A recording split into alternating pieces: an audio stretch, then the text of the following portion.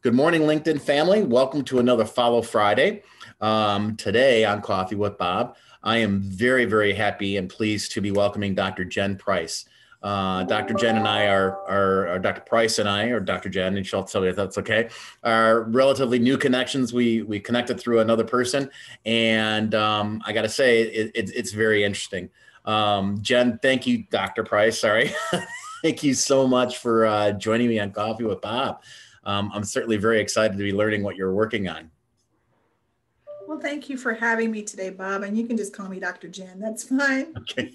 Well, I get confused because my my niece is a doctor as well, and her name is mm-hmm. Jen. She's Dr. Jen. So I was like, well, wait, keep expecting to see my niece. so tell us a little bit about what you're working on, Dr. Jen. Sure. Uh, let me lead off by saying I'm an educator and a counselor with over 20 years of experience. I've helped students and their families map a plan for career success. And I've visited over 200 colleges and universities across the nation, and I've helped families win over $15 million in scholarships. So that's me in a nutshell. Wow, very um, cool. And, and, so I'm very excited today to share a little bit about uh, my book. Uh, my new book is called Generation Edge Your GPS for Career Success.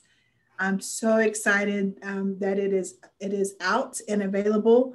Um, I wrote it uh, as a way to share some of my personal stories uh, regarding my journey to a place of fulfillment and, and, career success. But I also shared it from the perspective of these are some tips, um, this is some advice, these are some recommendations that I feel will help students as they're making decisions about, you know, what's next for them after high school. Mm-hmm. Yeah. And I also included some activities for them as well to help them with the clarity. Very cool. That, that's awesome. And then, it, you know, you know that that's a it's a great place to be because I, I think especially today in this COVID world, uh, I can't imagine my my children are all grown. They're adults. I'm having grandkids at this point in my life. I mm-hmm. can't imagine navigating what to do for college in today's world, right? So how, how do you advise parents or students, you know, in this COVID age? It is so complicated. it is so complicated right now. Um, but I will say, you know, we're all doing the best that we can. Uh, things are quite different with the shift to online learning. I know students and families have struggled with that. Uh, my PhD is actually in online learning, and so I, I really understand um, some of the nuances of what's um, not working well with online learning and why mm-hmm. students and families are struggling so much. But in this age of COVID, I mean, we're dealing with the economy as well and families uh, struggling financially. And so the cost of college um, has previously been a deterrent, but even more so now, it's a concern. Yeah. Um, the other piece is the competitiveness of the admissions process. It's not as easy as filling out a front sheet of a page. Now it's online, several virtual pages asking for information like extracurricular activities, clubs, um, and sports, as well as community service, essays, recommendation letters. It's a lot more complicated and more competitive overall. Yeah, yeah, I can imagine. Um, and are you finding that students are turning more to athletics to try and have that be their pathway into school? Well, it is a great way to um, try to cut the cost of, of college if they're able to go on an athletic scholarship, but it's really tricky now with COVID in mm-hmm. terms of even being able to compete and even you know earlier this year some some teams were not even able to compete at all. Right. And so that's really thrown a curveball so, so to say um, in their plans of going on athletic scholarship. And so really I, I encourage students from as young as seventh grade to think about you know what are some ways that you might be able to cut the cost of college down the line and make some decisions accordingly. Yeah yeah i can imagine um, having put three kids through college back in the day, so to speak, because like I mentioned, they're adults. Um, you know, we found that no matter how much we put away, we never saved enough. We couldn't save enough. It was almost impossible, especially with three kids. Um, you know, what type of vehicles do you do you suggest to parents who are having kids now, right? And you know, the cost of college is just going that way right? But our but our incomes are kind of going that way. so what do you tell parents to prepare? Well, I will say that there are some colleges who are trying to be responsive to what's happening in the economy. Like, for example, some private schools that have lowered the cost of tuition to more align with that of a public institution.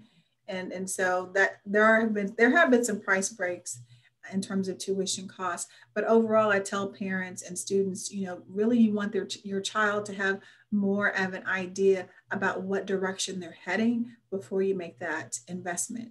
Now, this is not a good time to send them off to college to kind of explore majors when, when money is so tight. Uh, take advantage of community college. Mm-hmm. If your student is trying to do a little bit more uh, exploration in terms of what's a good fit for them. Career testing is also a great idea to determine if it makes sense to send them to community college, community college right away or to go ahead and try to encourage them to look at a four-year institution. Awesome. Now, so tell me a little bit more about your book. That's pretty cool. Sure. Um, what some of the things that are in the book, I share a little bit about my upbringing, which I think is a little bit unique. Um, um, I was raised in a single parent home. However, my single parent was my father. Oh. And he raised four girls by himself. God bless him. and so that was very interesting. He had to learn how to cook, and you know, of course, you know, he did the cleaning and tried to learn how to comb our hair, but I'm not sure that he quite mastered that. and he was very supportive in terms of encouraging us to be involved in school and, and, and also uh, go on to college. And so he taught us that education was a way up. And so I have that to thank him for. That's awesome. Um, and believing in us. And so I talk a little bit about some of the things that he shared with me and my sisters as we grew up and how it made a difference, how it helped me to, um, when I'm when faced with discouragement, how to keep going. Um, mm-hmm. Wow. So one of the things that helped me keep going was I, I wanted to go uh, to college, but we didn't know how we were going to pay for it. And so one of the things that happened um, when I was growing up was someone told me that I could not get a full ride scholarship, and I really knew that that needed to happen for me to go. And because of my dad teaching me I could do anything that I set my mind to, I disregarded that feedback and went on and, and earned two full ride scholarships wow. for, my, for my bachelor's and my master's degree. Awesome. So that's just an example uh, from the book of one of the life lessons that he shared with me and then of course I share some activities as well. Um, more activities are available in my online course, College Edge. But my book is uh, Generation Edge, Your GPS for Career Success. Wow. Do you, have, do, you have, do you have a copy of the book with you so you can show it off?